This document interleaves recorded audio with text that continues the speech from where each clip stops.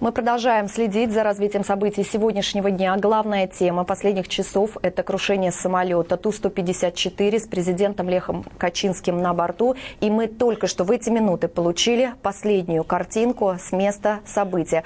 Вы можете видеть эти кадры а, в прямом эфире. Эти кадры в эти минуты сейчас показывают все мировые агентства во всех странах, которые следят за развитием событий, за получением новой информации о трагедии, а, которая произошла сегодня утром в 10.50 утра по Москве. Я еще раз вам напомню, что самолет Ту-154, который летел из а, Варшавы в Смоленск, потерпел крушение – на борту, уже это подтвердили официальные данные, находился президент Польши Лех Качинский и его супруга. Также на борту была официальная делегация. А, летели они в Смоленск для посещения памятных мероприятий в Катыни. Сейчас уже известно, что на борту самолета были 132 человека. А, они все погибли. Об этом сообщают правоохранительные органы Смоленской области. Но есть такая предварительная информация о том, что лайнер потерпел, потерпел аварию при заходе на посадку. Произошло это на аэродроме Северный. А, я думаю, что в этот момент как раз мы и видим место, которое находится вблизи аэродрома Северный. Ту-154 не дотянул до посадочной полосы всего один километр. Он зацепился за верхушки деревьев и упал. А при ударе о землю машина развалилась на части. В Следственном комитете при прокуратуре говорят, что самолет садился в условиях сильного тумана. Сейчас на месте происшествия работают все экстренные службы. Это спасатели, это милиция, это врачи. Туда же едет руководство Смоленской области. А по распоряжению президента Дмитрия Медведева из Москвы вылетел глава МЧС Сергей Шойгу, а также а, глава Министерства транспорта Левитин. Расследованием всех обстоятельств крушения самолета Ту-154 займется специально созданная для этого правовая комиссия. Возглавит ее премьер Владимир Путин.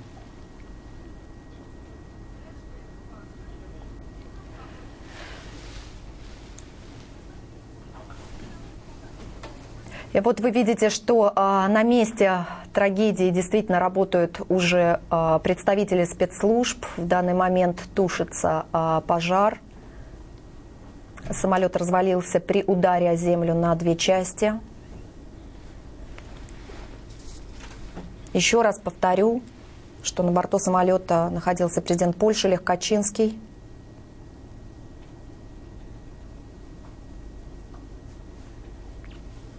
Также на борту самолета находилась супруга президента.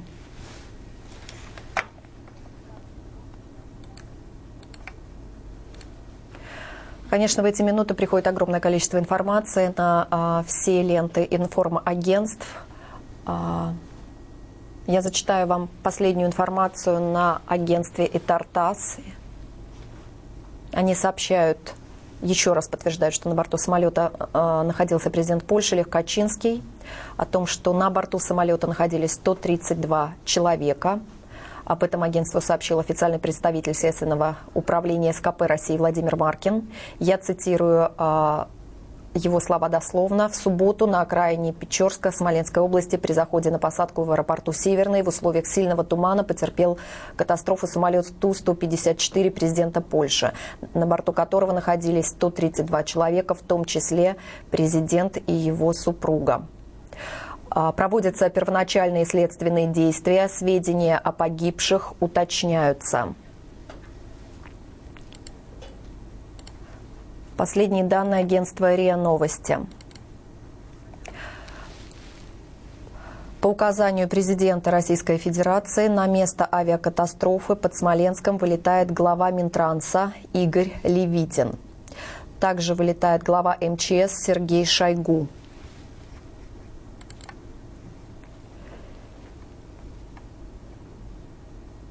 Данные о том, что все пассажиры и члены экипажа погибли, подтвердил агентству РИА Новости высокопоставленный источник в силовых структурах Центрального федерального округа. Как говорится в сообщении МИД России, размещенном на сайте ведомства, на борту потерпевшего крушение самолета находилась польская делегация, направлявшаяся с частным визитом на поминальные мероприятия в Катыни.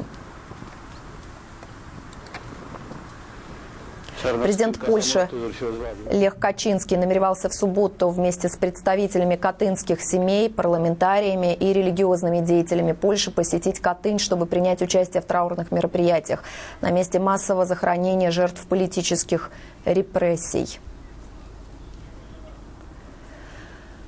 А я еще раз напомню, что в данный момент вы видите кадры, которые мы получаем в режиме реального времени с места трагедии самолета Ту-154. Эти кадры сейчас транслируют э, все мировые новостные телеканалы.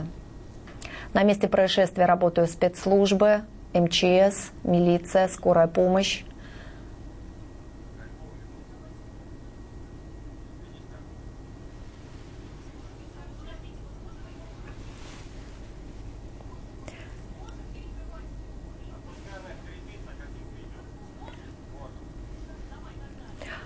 Ну и вот что сообщает корреспондент радио Вести ФМ из Варшавы Людмила Львова. Давайте послушаем.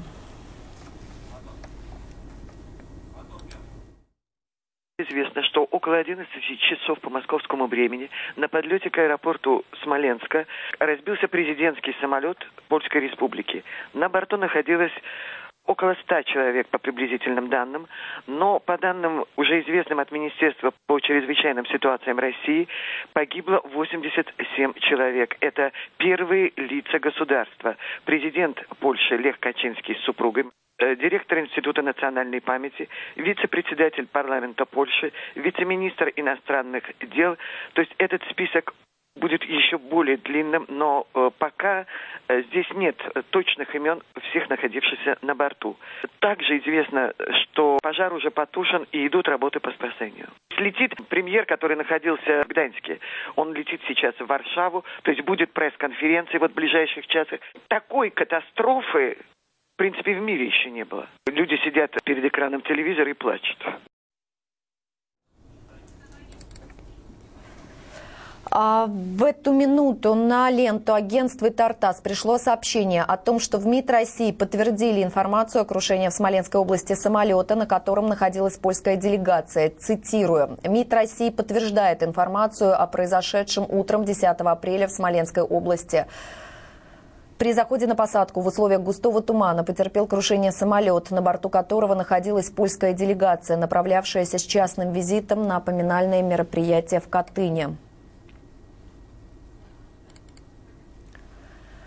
Правоохранительных органах Смоленской области подтвердили, что все пассажиры, члены экипажа самолета президента Польши Леха Качинского, потерпевшего катастрофу в пригороде Смоленска, погибли.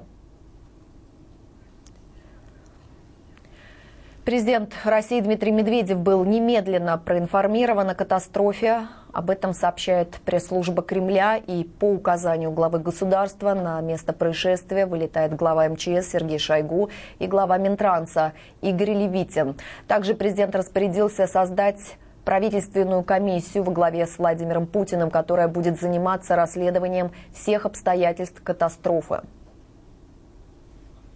И вот что нам сообщил губернатор Смоленской области Сергей Антуфьев.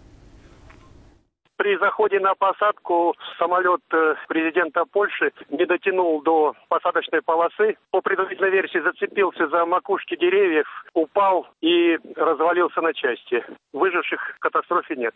Уточняем, сколько было в составе делегации. По предварительной информации 85 членов делегации и экипаж.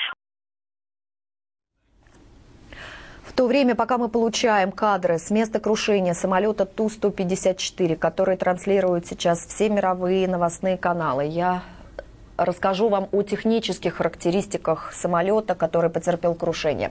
Итак, Ту-154, трехдвигательный пассажирский самолет для перелетов средней протяженности. Разработан он в 1960-х годах в конструкторском бюро Туполева. Первый полет был выполнен 3 октября 1968 года. На воздушной трассе аэрофлота и почти одновременно на международные линии лайнер вышел в начале 70-х. С тех пор было выпущено около тысячи таких самолетов самолетов. В настоящее время ведется мелкосерийное производство на самарском заводе «Авиакор». В этом году планировалось завершить выпуск таких самолетов.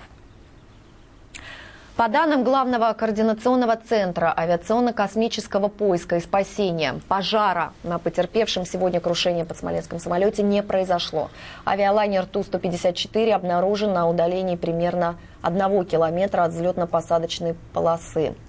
Об этом корреспонденту Тарта сообщили в Главном координационном центре авиационно-космического поиска и спасения.